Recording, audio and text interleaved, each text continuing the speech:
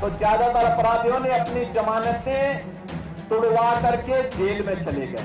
ठेला लगा करके पेट भर लूँगा, लेकिन अब कुछ गलत काम नहीं करूँगा। एक बार जान बकस तो बस उस प्रदेश में अब दंगा नहीं चलेगा।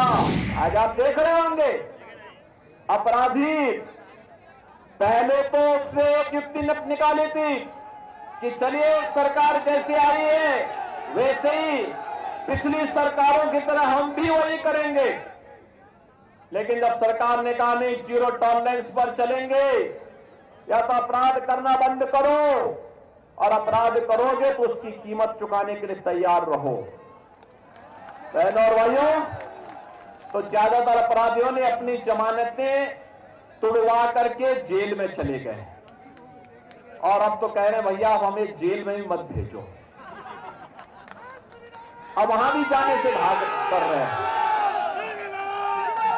अब आप देख रहे होंगे, अब तो ज़्यादातर अपराधी अपने गले पे तख्ती लटका करके घूम रहे हैं।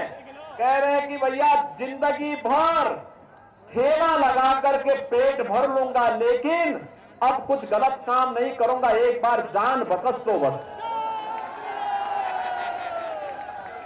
बहनों और भाइयों ये कानून का भय अगर अपराधी और माफियाओं के ऊपर न हो तो गरीबों का, सामान्य नागरिकों और व्यापारियों का ये अपराधी और माफिया जीना हराम कर देंगे।